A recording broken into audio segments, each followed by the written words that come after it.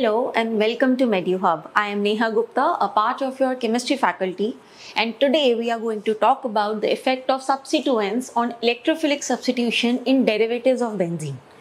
Before we get into that, let us talk about the structure of benzene and why benzene undergoes electrophilic substitution reactions.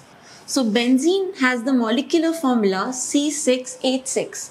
Here, all the six carbon atoms form a ring and they lie in a plane.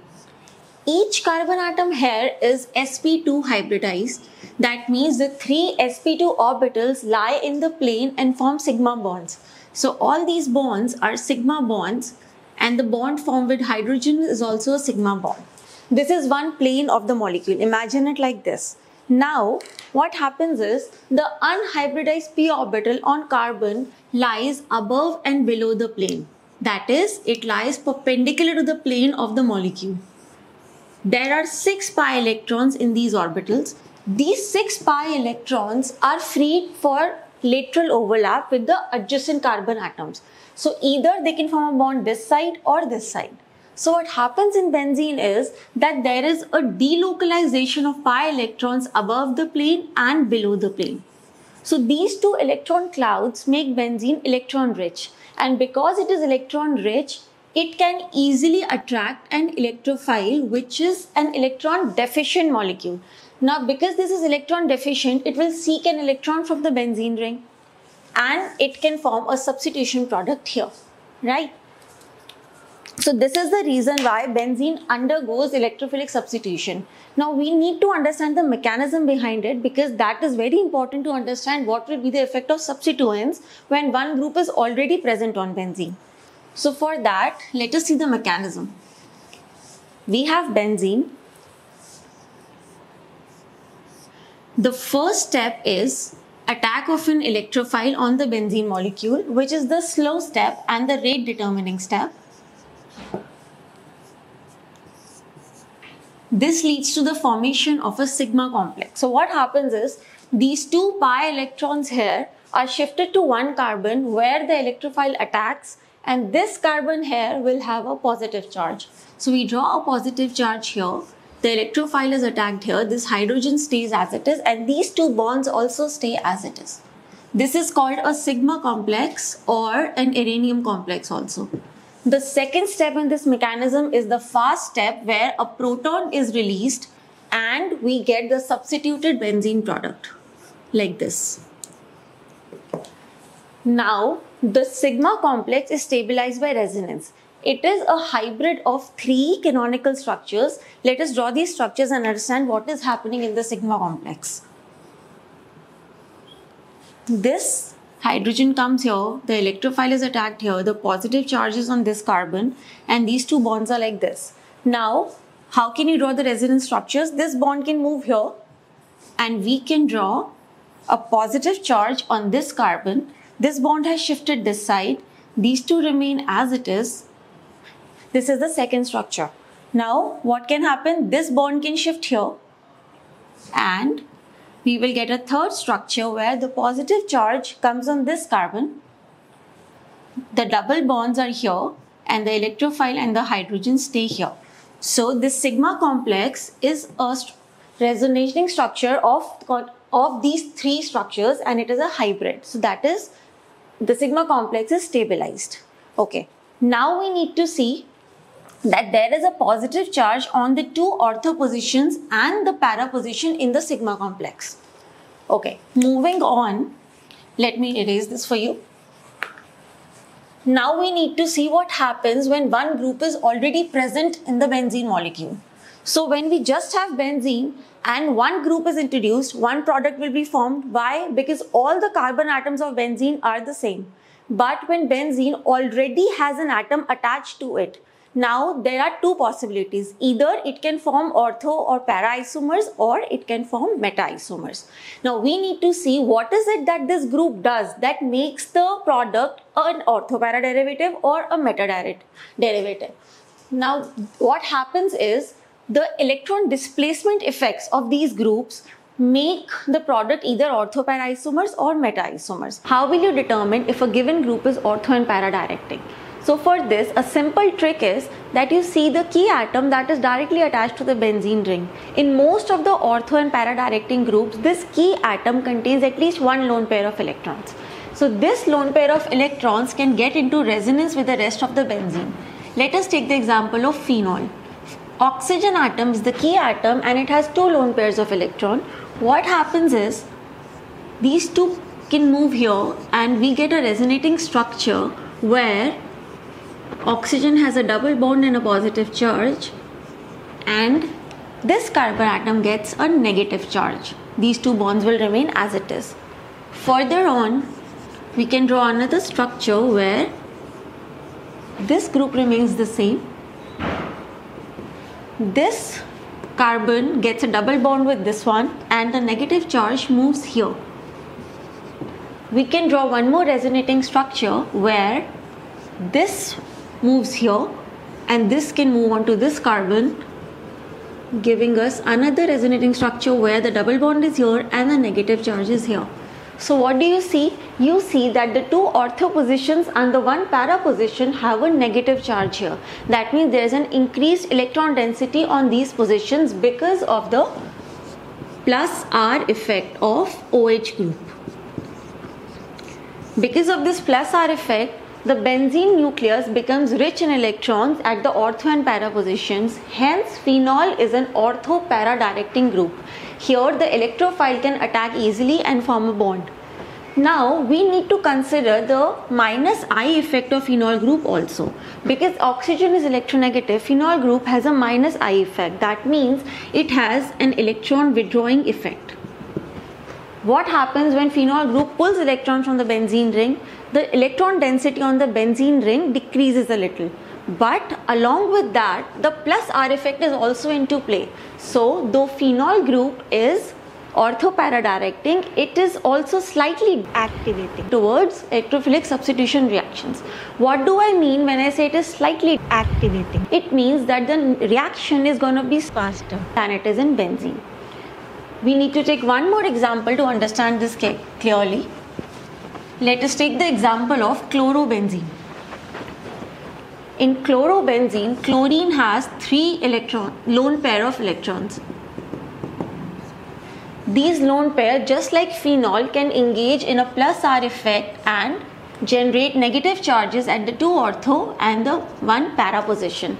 Right? The resonating structures can be drawn just like phenol. Along with this, chlorine again has a minus I effect because it is electronegative. So because of this, chlorine pulls away the electrons from the benzene ring, but because of the plus R effect, the ortho and the para positions get a negative charge. So chlorine is also ortho para directing but slightly deactivating towards electrophilic substitution reactions.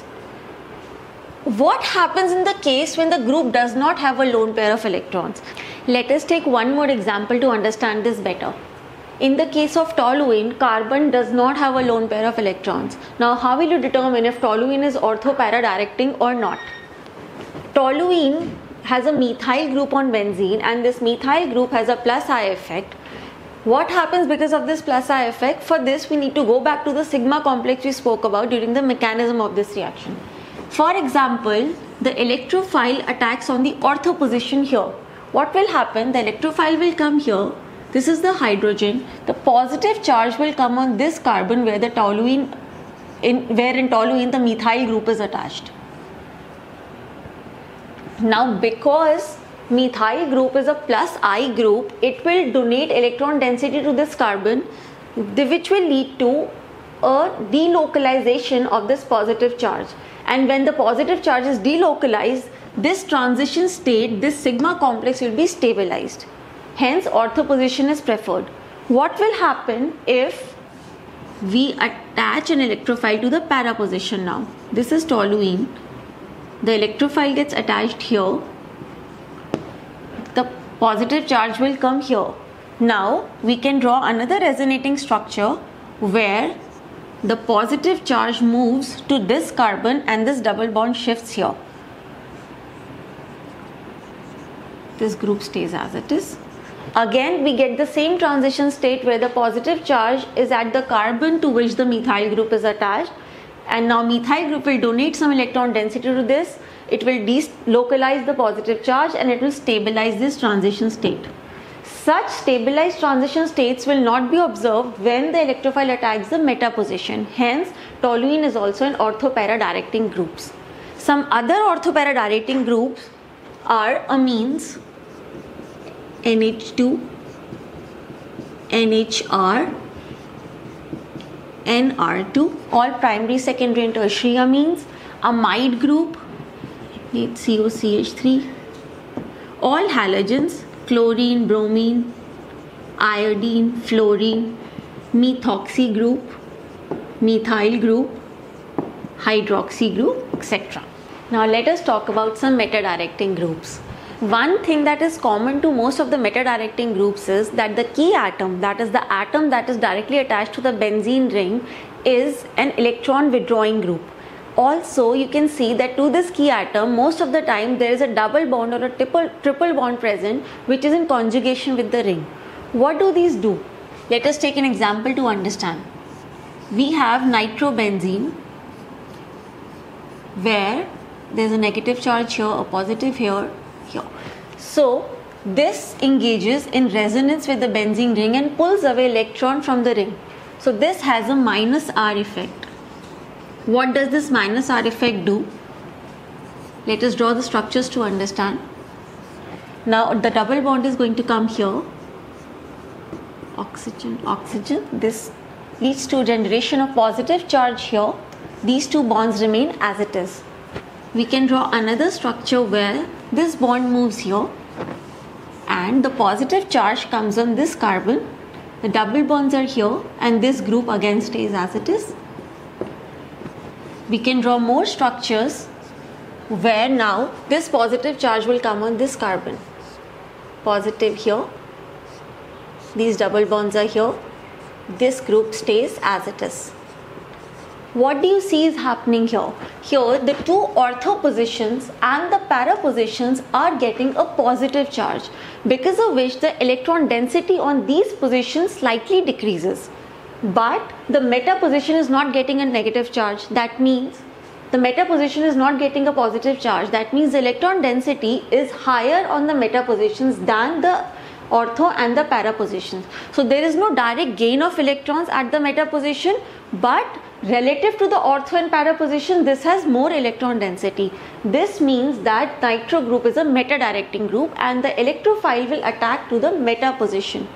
Now we need to see that nitro group also has a strong minus I effect because of which it also pulls away electron from the ring. That means nitro group because of its minus R and minus I effect is a deactivating group.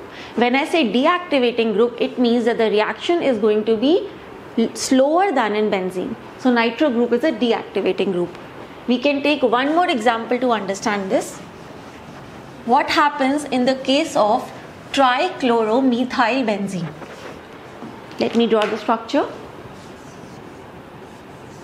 CCl3. Trichloromethylbenzene is a strong minus I group and it pulls away electron density. So if we draw the sigma complex when an electrophile attacks this molecule, if it attacks on the ortho position here, there's a positive charge here and these two bonds remain as it is. What is happening that this carbon is getting a positive charge and if CHCl3 is a minus I group, it will pull away electrons from this carbon and further intensify the positive charge. That means this transition state is destabilized because of attack at the ortho group. Similarly, if we see when the attack is at the para position, we attach the electrophile here. The CCl3 group is here. These two bonds are here. Positive charges on this carbon, these two double bonds come here. We can draw another structure where the positive charge again comes on the carbon which is directly attached to CCl3. H, E and this. Again we get a transition state where the positive charge on this carbon is intensifying because of CCl3 group and this position is also not suitable for attack by an electrophile. Because of this, CCl3 is also a meta-directing group and because of its minus I effect, it is a deactivating groups towards electrophilic substitution reactions. Some other groups which are deactivating groups are we have already spoken about NO2, CCl3, CF3, carboxylic acid group, sulfonic acid group, ester, aldehyde, uh, ketone group COCH3 etc. All these are meta-directing groups and they deactivate the ring towards further electrophilic substitution reactions. So today we spoke about the effect of substituents in electrophilic substitution reactions in derivatives of benzene. We spoke about ortho groups and para-directing groups. We spoke about meta-directing groups and how they impact the rate of the reaction. In case you have any doubts about this, you can write us write to us in the comment section and we will get back to you. Till then, bye bye.